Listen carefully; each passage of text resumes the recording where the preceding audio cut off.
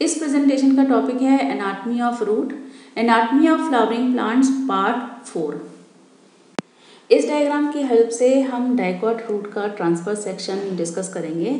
तो यहाँ पर ये देखिए, ये सबसे पहले जो आउटर मोस्ट लेयर होती है, वह सिंगल लेयर्ड एपिडर्मिस है और एपिडर्मस एपिडर्मिस की सेल्स को आप विजुलाइज कीजिए।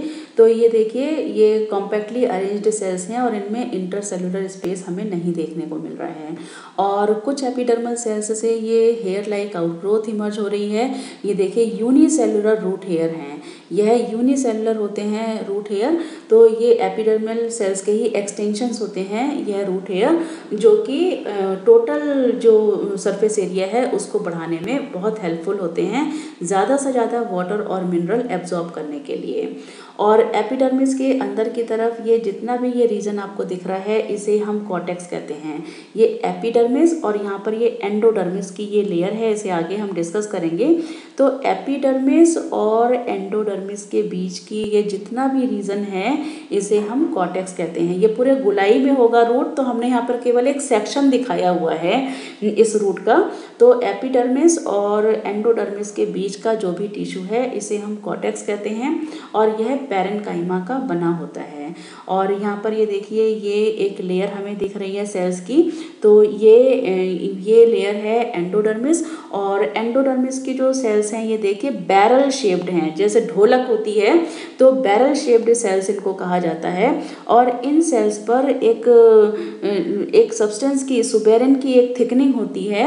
उस थिकनिंग को हम कैस्पेरियन थिकनिंग कहते हैं। यहाँ पर ये देखिए कैस्पेरियन थिकनिंग यहाँ पर ये दिखाई हुई है, ये दिखाई है। ये सुबेरिन एक फैटी सब्सटेंस होता है। उसकी थिकनिंग इस एंडोडर्मिस की सेल्स पे पाई जाती है। बहुत ध्यान से इस पॉइंट को समझिएगा कि अब एंडोडर्मिस के अंदर, अब ये जितना भी टिश्यू पाया जा रहा है, ये पूरा टिश्यू इसे हम स्टील कहते हैं। आगे ये टर्म हमने मेंशन किया है नोट्स में। तो फ़िलहाल के लिए समझिए एंडोडर्मिस के अंदर अब ये जितना भी टिश्यू पाया जा रहा है, इसे हम स्टील कहते हैं। और यहाँ पर ये देखिए स्टील के कंपोनेंट्स हम पढ़ते हैं। तो ये एंडोडर्मिस के जस्ट अंदर पहले तो ये एक रिंग देखिए आप सेल्स की। ये देखिए, ये ये एक रिंग दिख रही है आपको सेल्स की, इसे हम पेरीसाइकिल कहते हैं। पेरीसाइकिल को आगे हम डिस्कस करेंगे। पेरीसाइकिल बहुत इंपॉर्टेंट रोल प्ले करती है सेकेंडरी ग्रोथ में। रूट और स्टेम की जो सेकेंडरी ग्रोथ होती है तो उसमें ये पेरीसाइकिल बहुत इंपॉर्टेंट रोल प्ले करती है। और अब ये देखिए, ये वेस्कुलर टिश्यू दिखाया हुआ है यहाँ पर तो ये जाइलम और फ्लोइम का आप अरेंजमेंट देखिए। तो जब टिश्यू सिस्टम में हम डिस्कस कर चुके हैं तो रिकॉल कीजिए तो ये रेडियल अरेंजमेंट है जाइलम और फ्लोइम का। जब जाइलम और फ्लोइम डिफरेंट रेडियस पे लाई करते हों, यहाँ पर ये देखिए जाइलम इस रेडियस पे लाई कर रहा है तो फ्लोइम इस रेडियस पे लाई कर रहा है। तो इस तरह के अरेंजमेंट को हम रेडियल अरेंजमेंट कहते हैं। तो ये फ्लोइम के पैचेस हैं और ये पैचेस हैं हमारे जाइलम के। तो ये रेडियल अरेंजमेंट यहाँ पर देखने को मिल रहा है। अब जाइलम को आप स्टडी कीजिए तो जाइलम में ये देखिए जो छोटे जो ये हैं, ये प्रोटोजाइलम हैं। यह सबसे पहले जो जाइलम डेवलप हुए थे रूट में, यह वह जाइलम है और लेटर स्टेजेस में जो जाइलम बने थे, वह ये मेटाजाइलम है।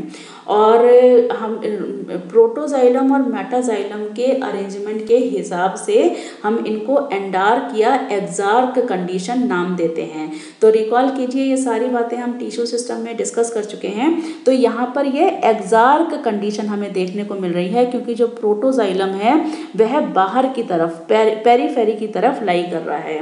तो यहाँ पर यह हमें एग्जार्क कंडीशन देखने को मिल रही है। और दो से चार जाइलम हमें देखने को मिलते हैं। फ़िलहाल इस डायग्राम में हमें चार जाइलम के ये पैचेस देखने को मिल रहे हैं। तो ये पैचेस दो से चार हो सकते हैं। वेरी करता है स्पीशीज टू स्पीशीज और सेंटर में, बिल्कुल सेंटर में ये जो यहाँ पर एक एरिया दिखाई दे रहा है, इसे हम पिथ कहते हैं। तो कुछ रूट्स में ये पिथ अधिकतर रूट्स में अधिकतर पिथ नहीं होता है और अगर होता है तो वह बहुत ही थोड़ा होता है, छोटा होता है। तो इस डायग्राम की हेल्प से हमने डाइकॉट रूट की एनाटमी डिस्कस की है। इस डायग्राम में एंडोडर्मिस पर कैस्पेरियन रिंग ये बहुत अच्छी दिखाई है। ये देखिए कैस्पेरियन रिंग का है ये और ये एंडोडर्मिस की सेल्स हैं और एंडोडर्मिस के बाहर ये कॉर्टिकल रीजन दिखाया हुआ है और इधर ये जाइलम और ये फ्लोइम एलिमेंट्स दिखाए हुए हैं। तो इस डायग्राम की हेल्प से हमने कैस्पेरियन रिंग डिस्कस की है, जो कि हमें एंडोडर्मल सेल्स पर देखने को मिलती है। डाइकॉट रूट एनाटमी से रिलेटेड कुछ इंपॉर्टेंट पॉइंट्स यहाँ हमने मेंशन किए हैं। यह सभी पॉइंट्स हम डिस्कस कर चुके हैं। यह पॉइंट हम बताना चाहते थे, जो स्टील जो हम टर्म बोल रहे थे, कि एंडोडर्मिस के अंदर जितना भी टिश्यू पाया जाता है, उसे हम स्टील कहते हैं। और इसमें हम पेरीसाइकिल वेस्कुलर बंडल और पिथ यह एलिमेंट्स हम इंक्लूड करते हैं। डाइकॉट रूट एनाटमी से रिलेटेड कुछ और पॉइंट्स यहाँ हमने मेंशन किए हैं। यह सभी पॉइंट्स हमने डायग्राम की हेल्प से डिस्कस कर लिए हैं। यह एक टर्म छूट गया था जो हमने जाइलम और फ्लोइम के पैचेस देखे थे। तो उन पैचेस के बीच में जो टिश्यू पाया जाता है वह पेरेंकाइमेटस सेल्स का का एग्रीगेशन होते हैं और उसे हम कंजक्टिव टिश्यू कहते हैं। बाकी सभी पॉइंट्स हम डिस्कस कर चुके हैं। इन्हें आप अपने नोट्स के लिए यूज़ करें। यहाँ हमने मोनोकॉट रूट का ट्रांसफ़र सेक्शन दिखाया है। डाइकॉट रूट से काफ़ी सिमिलैरिटी है, लेकिन कुछ डिफरेंसेस भी हैं। वह डिफरेंसेस हम इस डायग्राम की हेल्प से डिस्कस करेंगे। तो यहाँ पर ये देखिए, ये एपिडर्मिस है रूट हेयर है, यह सारी बातें हम डिटेल में डिस्कस कर चुके हैं। और एपिडर्मिस और एंडोडर्मिस के बीच का टिश्यू ये कॉर्टिकल रीजन हो गया, जिसे हम कॉटेक्स कहते हैं। पेरेंटाइमेटस टिश्यू होता है ये। और ये एंडोडर्मिस की लेयर हो गई और एंडोडर्मिस के अंदर ये पेरीसाइकिल हो गई है। और यहाँ पर ये टिश्यू ये जो वेस्कुलर टिश्यू है, यहाँ पर थोड़ा सा डिफरेंस हमें देखने को मिल रहा है। और ये, यहाँ पर ये देखिए तो यहाँ पर चार से ज़्यादा हमें देखने को मिल रहे हैं एलिमेंट्स हमें जाइलम के। तो छः से ज़्यादा जब एलिमेंट्स हो जाएँ जाइलम के तो उसे हम पॉलीआर्क कंडीशन बोलते हैं। ये टर्म हमने आगे अपने नोट्स में इंक्लूड किया हुआ है। तो जाइलम के छः से ज़्यादा, बहुत ज़्यादा यहाँ पर एलिमेंट्स हमें देखने को मिल रहे हैं। तो ये पॉलीआर्क कंडीशन होती है। और जो ये देखिए, ये प्रोटोजाइलम है यहाँ पर और ये मेटाजाइलम है। तो यहाँ पर रूट में भी हमें एग्जार्क कंडीशन ही देखने को मिल रही है। और रेडियल अरेंजमेंट हमें देखने को मिल रहा है जाइलम और फ्लोइम का। और बीच में ये जो सेंटर में जो टिश्यू है, इसे हम पिथ कहते हैं और एंडोडर्मिस पर भी ये हमें कैस्पेरियन थिकनिंग देखने को मिल रही है। तो काफ़ी सिमिलैरिटी है डाइकॉट और मोनोकॉट रूट की अनाटमी में। बस डाइकॉट में डिफरेंस ये है कि डाइकॉट में जो जाइलम का नंबर है, वह चार तक हो सकता है, दो से चार होगा और जबकि रूट में यह हमें पॉलीआर्क कंडीशन देखने को मिल रही है। यहाँ हमने मोनोकॉट रूट एनाटमी से रिलेटेड कुछ पॉइंट्स मेंशन किए हैं। तो ये पॉइंट यहाँ पर हम एक डिस्कस करना चाहते हैं पैसेज सेल के बारे में। तो जब हम एंडोडर्मिस डिस्कस कर रहे थे तो वहाँ बताया था आपको कि एंडोडर्मिस पर सुबेरिन की एक डिपोजिशन होता है, जिसे हम कैस्पेरियन रिंग कहते हैं। तो कुछ एंडोडर्मल सेल्स जो जाइलम बंडल्स के जस्ट ऑपोजिट लाइट करती हैं। विजुलाइज कीजिए अभी अभी हमने आपको टीएस दिखाया है ट्रांसफ़र सेक्शन दिखाया है। तो एंडोडर्मल सेल्स जो एंडोडर्मिस की जो सेल्स हैं, कुछ एंडोडर्मल सेल्स जो जाइलम एलिमेंट के जस्ट ऑपोजिट लाई कर रही हैं। तो वह थिन वर्ल्ड ही रह जाती हैं और इन थिन वर्ल्ड सेल्स को हम पैसेज सेल्स कहते हैं। तो ज़रा सोच के देखिए इसका क्या पर्पस हो सकता है, क्योंकि एंडोडर्मिस पर सुबेरिन का डिपोजिशन है तो और जो पानी, जो रूट हेयर जो एब्जॉर्ब करेंगी पानी तो अब यह सुबेरिन के रिंग को कैसे पार कर पाएगा? तो ये जो पैसेज सेल्स हैं, वह उस वाटर को और उन मिनरल्स को एक डायरेक्ट पैसेज प्रोवाइड करती हैं जाइलम एलिमेंट्स के अंदर।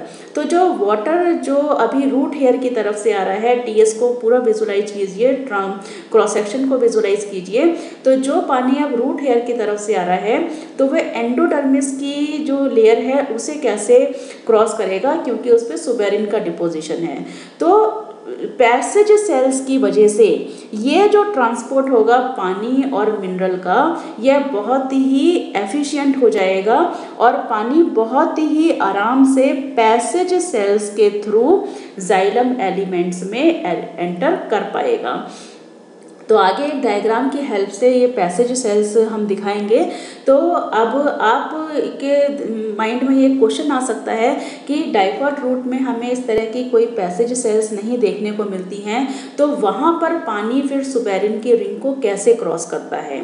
तो ये सारे क्वेश्चंस के आंसर आपको मिलेंगे जब हम ट्रांसपोर्ट इन सेल्स ये चैप्टर जब प्लांट्स ट्रांसपोर्ट इन प्लांट्स ये जो चैप्टर हमने डिस्कस किया है एनसीईआरटी का तो उस प्रेजेंटेशन में आपको इस बात का आंसर ज़रूर मिलेगा। बहुत बहुत अच्छी तरह से हमने एक्सप्लेन किया है कि एंडोडर्मल सेल्स पर सुबेरिन की रिंग होने के बावजूद भी जो वाटर है, वह एंडोडर्मिस की लेयर को किस तरह से क्रॉस करता है।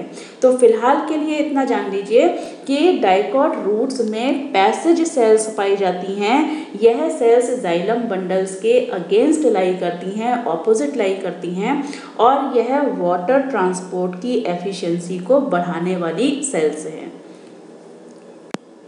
इस डायग्राम में देखिए तो यहाँ पर ये हमने पैसेज सेल्स दिखाई हैं। ये एंडोडर्मिस की लेयर यहाँ पर दिखाई है और एंडोडर्मिस पे ये कैस्पेरियन थिकनिंग हमने दिखाई है। और ये देखिए, ये जाइलम एलिमेंट्स हैं और जाइलम एलिमेंट के अगेंस्ट ये जो एंडोडर्मल सेल्स हैं तो ये थिन वॉल्ड ही रह जाती हैं। इन पे जो डिपोजिशन होता है सब्सटेंसेस का, वह बहुत कम होता है। तो इन सेल्स को हम पैसेज सेल्स कहते हैं। तो इन सेल्स के थ्रू वाटर बहुत ही आराम से इस एंडोडर्मिस की लेयर को क्रॉस कर सकता है। मोनोकॉट रूट एनाटमी से रिलेटेड कुछ और पॉइंट्स यहाँ हमने मेंशन किए हैं।